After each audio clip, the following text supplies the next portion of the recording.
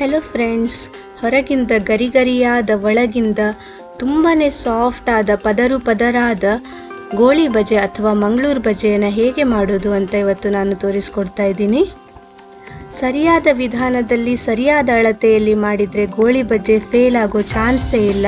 ಹೋಟೆಲಲ್ಲಿ ಸಿಗೋ ಥರನೇ ಗೋಳಿ ಬಜೆಯನ್ನು ನೀವು ನಿಮ್ಮ ಮನೆಯಲ್ಲೂ ಕೂಡ ಮಾಡ್ಕೋಬಹುದು. ನನ್ನ ಹೆಸರು ವೀಣಾ ಮತ್ತು ವೀಣಾಸ್ ಲಿಟಲ್ ವರ್ಲ್ಡ್ಗೆ ನಿಮ್ಮೆಲ್ಲರಿಗೂ ಮತ್ತೊಮ್ಮೆ ಸ್ವಾಗತ. ಮೊದಲಿಗೆ ನಾನು ಒಂದು ಬೌಲಲ್ಲಿ ಒಂದು ಕಪ್ ಆಗುವಷ್ಟು ಮೈದಾ ತಗೊಳ್ತಾ ಇದ್ದೀನಿ. ಅದಕ್ಕೆ ಸುಮಾರು ಎರಡು ಸ್ಪೂನ್ ಆಗುವಷ್ಟು ಅಕ್ಕಿ ಹಿಟ್ಟನ್ನು ಸೇರಿಸ್ಕೊಳ್ತಾ ಇದ್ದೀನಿ. ಹಾಗೆ ಅದಕ್ಕೆ ಅರ್ಧ ಕಪ್ ಮೊಸರು ಕೂಡ ಹಾಕ್ಕೊಳ್ತಾ ಇದ್ದೀನಿ. ನಂತರ ಸ್ವಲ್ಪ ಶುಂಠಿ, ಒಂದು ಹಸಿಮೆಣಸು, ಸ್ವಲ್ಪ ಕರಿಬೇವಿನ ಸೊಪ್ಪು ಮತ್ತು ಸ್ವಲ್ಪ ಕೊತ್ತಂಬರಿ ಸೊಪ್ಪು. ಹಾಗೆ ಸ್ವಲ್ಪ ಕಾಯಿ ಚೂರು. ಎರಡು ಸ್ಪೂನ್ ಆಗುವಷ್ಟು ಸಕ್ಕರೆ ಹಾಗೂ ರುಚಿಗೆ ತಕ್ಕಷ್ಟು ಉಪ್ಪು. ಇದಿಷ್ಟನ್ನು ಹಾಕಿ ಚೆನ್ನಾಗಿ ಮಿಕ್ಸ್ ಮಾಡಬೇಕು. ಈ ರೀತಿ ಕೈಯಲ್ಲಿ ಇದನ್ನು ರೌಂಡ್ ರೌಂಡಾಗಿ ಟರ್ನ್ ಮಾಡ್ತಾ ಮಿಕ್ಸ್ ಮಾಡಬೇಕಾಗುತ್ತೆ. ನಾವು ಇಲ್ಲಿ ಮೈದಾ ಬದಲಿಗೆ ಗೋಧಿ ಹಿಟ್ಟನ್ನು ಕೂಡ ಯೂಸ್ ಮಾಡ್ಬೋದು. ಆದರೆ ರೆಸ್ಟೋರೆಂಟ್ ಸ್ಟೈಲಲ್ಲಿ ಮಾಡಬೇಕಂದ್ರೆ ಮೈದಾನೇ ಯೂಸ್ ಮಾಡಬೇಕು. ಈಗ ಇಲ್ಲಿ ನಾನು ಸ್ವಲ್ಪನೇ ಸ್ವಲ್ಪ ನೀರನ್ನು ಸೇರಿಸ್ಕೊಳ್ತಾ ಇದ್ದೀನಿ. ನೀರನ್ನು ಒಂದೇ ಸಲ ಜಾಸ್ತಿ ಹಾಕೋಬೇಡಿ. ಸ್ವಲ್ಪನೇ ಸ್ವಲ್ಪ ಹಾಕ್ಕೊಳ್ತಾ ಹಾಕ್ಕೊಳ್ತಾ ಈ ರೀತಿ ರೌಂಡ್ ರೌಂಡ್ ಆಗಿ ಇದನ್ನು ತಿರುಗಬೇಕು. ಈ ರೀತಿ ರೌಂಡ್ ರೌಂಡ್ ಆಗಿ ತಿರುಗಿಸಿದ್ರೆ ಇದು ಒಳಗಿಂದ ತುಂಬಾ ಸಾಫ್ಟಾಗಿ ಪದರ ಪದರಾಗಿ ಬರುತ್ತೆ. ಎಷ್ಟು ಬೇಕೋ ಅಷ್ಟೇ ನೀರನ್ನು ಯೂಸ್ ಮಾಡಿ. ಯಾಕಂದರೆ ಇದು ತುಂಬ ತೆಳು ಆಗಬಾರ್ದು, ಹಿಟ್ಟು ಗಟ್ಟಿಯಾಗಿರಬೇಕು. ಈಗ ನೋಡಿ ಹಿಟ್ಟು ರೆಡಿಯಾಗಿದೆ ಇದರ ಕನ್ಸಿಸ್ಟೆನ್ಸಿ ನೋಡ್ಕೊಳ್ಳಿ. ಡ್ರಾಪಿಂಗ್ ಕನ್ಸಿಸ್ಟೆನ್ಸಿ ಅಂತಾರಲ್ಲ, ಆ ಥರ ಇರಬೇಕು ಇದು. ಸುಮಾರು ಇಡ್ಲಿ ಹಿಟ್ಟಿನಷ್ಟು. ಈ ರೀತಿ ಎಣ್ಣೆಯಲ್ಲಿ ಬಿಡಲಿಕ್ಕೆ ಬರಬೇಕು ಇದನ್ನು. ಇಷ್ಟು ಹದವಾಗಿ ಇದನ್ನು ಮಿಕ್ಸ್ ಮಾಡ್ಕೋಬೇಕಾಗುತ್ತೆ. ತೆಳು ಆಗಲಿಕ್ಕೆ ಕೊಡಬಾರ್ದು. ಈಗ ಇದನ್ನು ಮುಚ್ಚಿ ಒಂದು ಮೂರು ಗಂಟೆವರೆಗೆ ಫರ್ಮೆಂಟ್ ಆಗಲಿಕ್ಕೆ ಬಿಡಬೇಕು. ಮೂರರಿಂದ ನಾಲ್ಕು ತಾಸಾಗಿದೆ. ಈಗ ನೋಡಿ ಹಿಟ್ಟು ಸ್ವಲ್ಪ ಉಬ್ಬು ಬಂದಿದೆ. ಇದಕ್ಕೆ ನಾನು ಒಂದು ಸ್ಪೂನ್ ಆಗುವಷ್ಟು ಅಡಿಗೆ ಸೋಡಾವನ್ನು ಸೇರಿಸ್ಕೊಳ್ತಾ ಇದ್ದೀನಿ. ಸೋಡಾ ಹಾಕಿದ ಮೇಲೆ ಅಗೇನ್ ಇದೇ ರೀತಿ ರೌಂಡ್ ರೌಂಡ್ ಮೋಷನಲ್ಲಿ ಈ ರೀತಿ ಇದನ್ನು ಚೆನ್ನಾಗಿ ಮಿಕ್ಸ್ ಮಾಡಬೇಕು. ನೋಡ್ತಾ ಇದ್ದೀರಲ್ಲ, ಈ ರೀತಿಯಾಗಿ ರೌಂಡ್ ರೌಂಡ್ ಆಗಿ ಇದನ್ನು ಮಿಕ್ಸ್ ಮಾಡಬೇಕಾಗುತ್ತೆ. ಆವಾಗ ತುಂಬ ಪ್ಲಫ್ ಫ್ಲಫಿಯಾಗಿ ಬರುತ್ತೆ.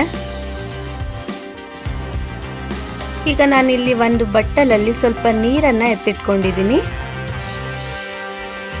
ಈಗ ನಾನು ಎಣ್ಣೆಯನ್ನು ಕೂಡ ಬಿಸಿ ಮಾಡಲಿಕ್ಕೆ ಇಟ್ಟಿದ್ದೀನಿ. ಕೈಯನ್ನು ನೀರಲ್ಲಿ ಸ್ವಲ್ಪ ಒದ್ದೆ ಮಾಡಿಕೊಂಡು ಈ ರೀತಿಯಾಗಿ ಗೋಳೆ ಬಜೆಯ ಹಿಟ್ಟನ್ನು ಸೈಡಿಂದ ತೆಗೆದು ಎಣ್ಣೆಯಲ್ಲಿ ಬಿಡಬೇಕು. ನಾನು ಒಂದು ಡೆಮೋ ತೋರಿಸ್ತಾ ಇದ್ದೀನಿ. ಈ ರೀತಿ ಸೈಡಿಂದ ತೆಗಿಬೇಕು ಹಿಟ್ಟನ್ನು ಮತ್ತು ಎಣ್ಣೆಯಲ್ಲಿ ಬಿಡಬೇಕು. ಹದವಾಗಿ ಕಾದ ಎಣ್ಣೆಯಲ್ಲಿ ಈ ರೀತಿ ಗೋಳಿ ಬಜೆಯನ್ನು ಬಿಡ್ತಾ ಬರಬೇಕು. ಇದು ಸುಮಾರಾಗಿ ರೌಂಡ್ ಶೇಪಲ್ಲಿ ಬರಬೇಕಾಗುತ್ತೆ. ಸ್ವಲ್ಪ ಶೇಪ್ ಡಿಫ್ರೆನ್ಸ್ ಬರ್ಬೋದು, ಆದರೆ ಆಲ್ಮೋಸ್ಟ್ ರೌಂಡ್ ಶೇಪಲ್ಲಿ ಬರಬೇಕು. ಫ್ಲೇಮನ್ನು ಲೋ ಇಂದ ಮೀಡಿಯಮ್ ಇಡಿ. ತುಂಬ ಹೈ ಫ್ಲೇಮಲ್ಲಿ ಇದನ್ನು ಮಾಡಬಾರ್ದು. ಗೋಳಿ ಬಜೆ ಎಣ್ಣೆಯಲ್ಲಿ ಹಾಕಿದ ಕ್ಷಣ ತಾನಾಗೆ ಎದ್ದು ಬರುತ್ತೆ. ಈಗ ನೋಡಿದ್ರಲ್ಲ ನೀವು, ತಾನಾಗೆ ಟರ್ನ್ ಕೂಡ ಆಯಿತು. ಅದು ಗೋಲ ಆಕೃತಿಯಲ್ಲಿ ಇರೋದ್ರಿಂದ ತಾನಾಗೆ ಬಿಸಿ ಎಣ್ಣೆಯಲ್ಲಿ ಟರ್ನ್ ಕೂಡ ಆಗುತ್ತೆ. ಈ ರೀತಿ ಒಂದೊಂದಾಗಿ ಸ್ಲೋ ಆಗಿ ಎಣ್ಣೆಯಲ್ಲಿ ಬಿಡೋಣ. ಪಾತ್ರೆಯಲ್ಲಿ ಎಷ್ಟು ಸಾಲುತ್ತೋ ಅಷ್ಟೇ ಗೋಳಿ ಬಜೆಯನ್ನು ಬಿಡಬೇಕು.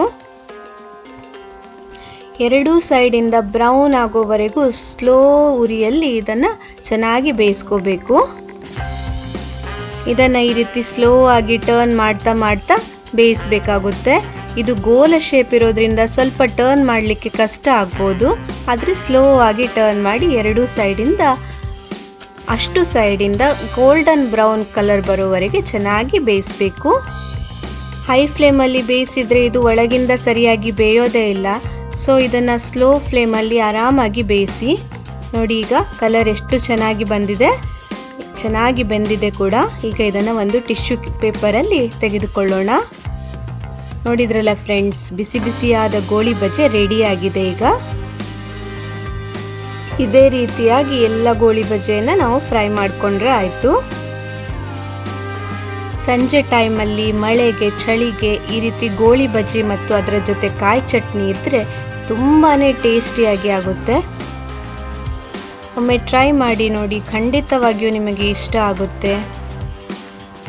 ಬಿಸಿ ಬಿಸಿ ಚಹಾ ಜೊತೆ ಗೋಳಿ ಬಜೆ ಅದ್ಭುತ ಕಾಂಬಿನೇಷನ್ ಸೊ ಫ್ರೆಂಡ್ಸ್ ವಿಡಿಯೋನ ಈಗಲೇ ಲೈಕ್ ಮಾಡಿ, ನಮ್ಮ ಚಾನಲನ್ನು ಸಬ್ಸ್ಕ್ರೈಬ್ ಮಾಡ್ಕೊಳ್ಳಿ ಬೆಲ್ ಬೈಟ್ ಬಟನನ್ನು ಕೂಡ ಪ್ರೆಸ್ ಮಾಡಿ.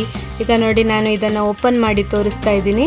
ನೋಡಿ ಒಳಗಿಂದ ಎಷ್ಟು ಪದರ ಪದರವಾಗಿ ಚೆನ್ನಾಗಿ ಬಂದಿದೆ. ನಿಮ್ಮ ಕಮೆಂಟ್ಸನ್ನು ಶೇರ್ ಮಾಡಿ ಸೋಷಿಯಲ್ ಮೀಡಿಯಾದಲ್ಲಿ ನಮ್ಮನ್ನು ಫಾಲೋ ಮಾಡಿ. ಮತ್ತೊಂದು ವಿಡಿಯೋವೊಂದಿಗೆ ಮತ್ತೆ ಭೇಟಿಯಾಗೋಣ. ಅಲ್ಲಿಯವರೆಗೆ thank you bye bye take care